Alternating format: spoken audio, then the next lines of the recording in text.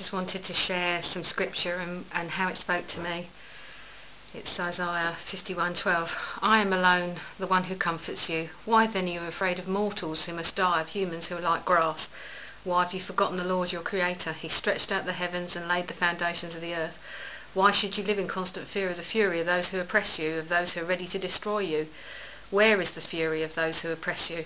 Chained prisoners, chained prisoners will be set free. They will not die in prison. They will not go without food. I am the Lord your God, who stirs up the sea and makes its waves roar.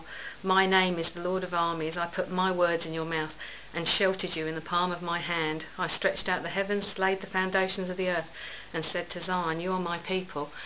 And how did that speak to me? Well, it reminded me very much of when I first got saved and how the Lord started to speak to me, how I was totally amazed that there was a God in the world who wanted me, who wanted to speak to me.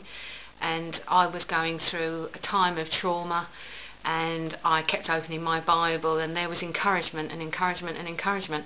And what totally blew me away was the scripture is that you are sheltered in the palm of my hand. Mm-hmm and to anybody who is going through anything that they're finding difficult to deal with, He is your refuge. All you have to do is come to Him, ask Him to be your Saviour, and He will be, and He will speak to you. And if you learn to listen for His voice, He will change your life completely.